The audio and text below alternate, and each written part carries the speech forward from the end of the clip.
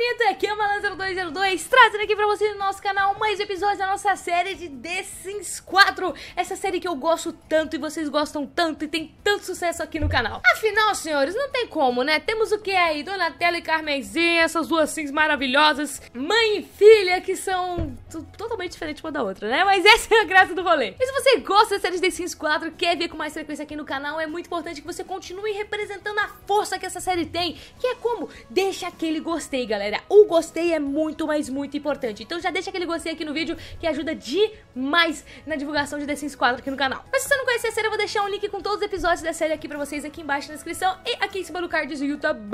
Mas galera, no nosso último episódio a gente meio que deu uma reparada aí que estamos próximos, bem próximos da falência, né? Por quê? Porque Donatella só trabalha duas vezes por semana, cara. Inclusive está no trabalho agora. Eu jurava que ela ia ser promovida, mas cara, não. Ela tá um pouco longe ainda de ser promovida. Ela acabou de entrar no, na, no, na, na, casinha de bom desempenho, né? Mas, ó, caramba, não, pelo amor de Deus, ela trabalha duas vezes por semana, mas quando trabalha, ela volta com dois conto e quatro, dois conto, mano.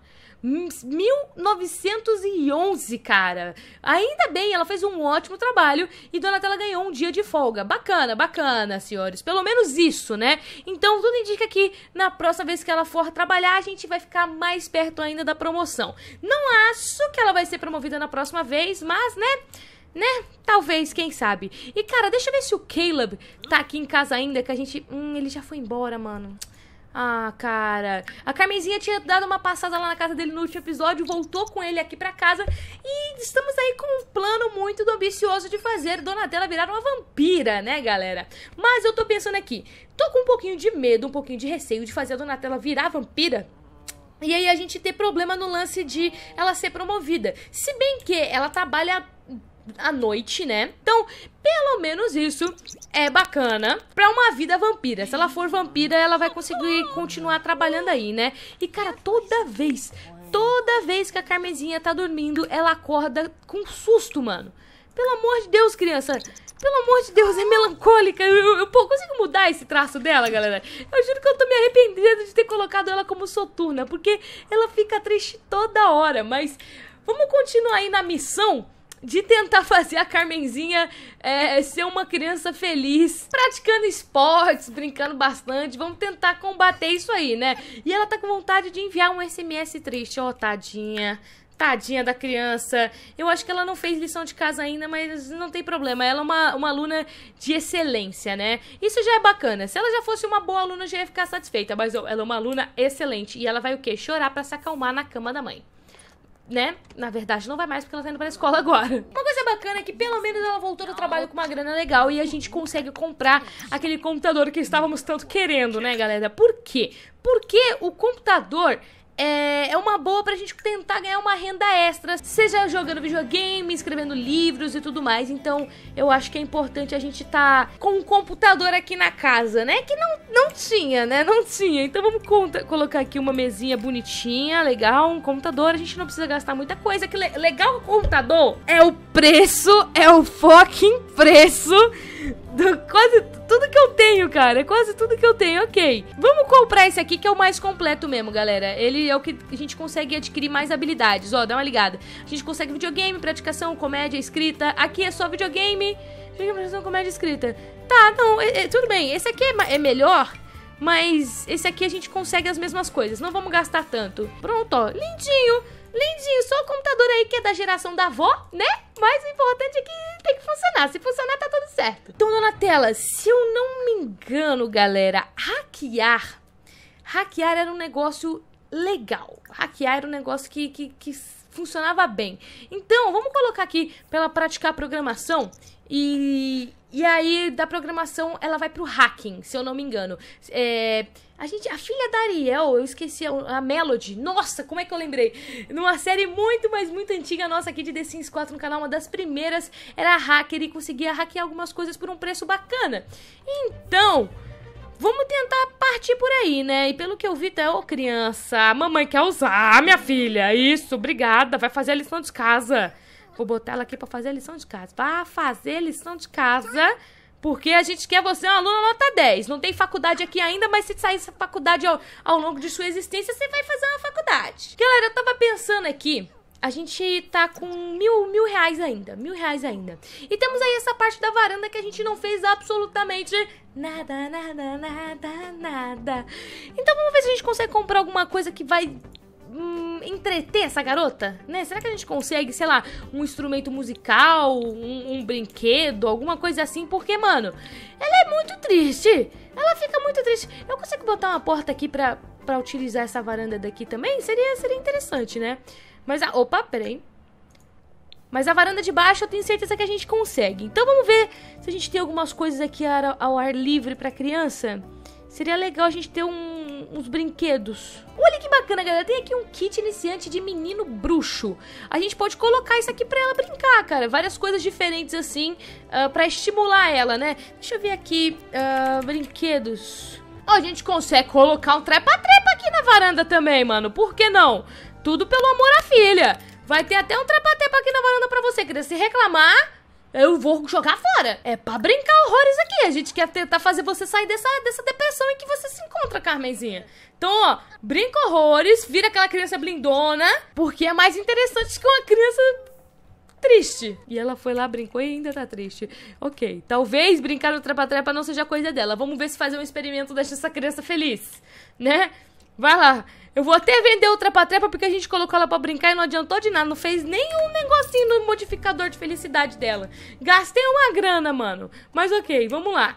Deixa eu ver se mexer com a ciência deixa a criança um pouco mais feliz. E galera, está de noite. Está de noite é o quê? É o momento de convidar Calebzinho. Mas, cara, antes de convidar o Caleb, pra gente talvez tentar uma, uma transformação vampírica aqui nesse episódio, eu queria visitar aquela mansão daquele brother que ligou uma vez pra gente e disse que o nosso pescoço era muito atraente. Porque eu tava lendo nos comentários e muitos de vocês falaram que a casa dele realmente parece casa de vampiro, que tem caixão e tudo mais. Então, eu queria estar dando uma explorada aí na casa aqui do Conde Vladislaus Strados IV né? Pra ver se a gente acha algumas coisas interessantes por lá, ou se talvez seja interessante ele nos transformar, não sei. Talvez.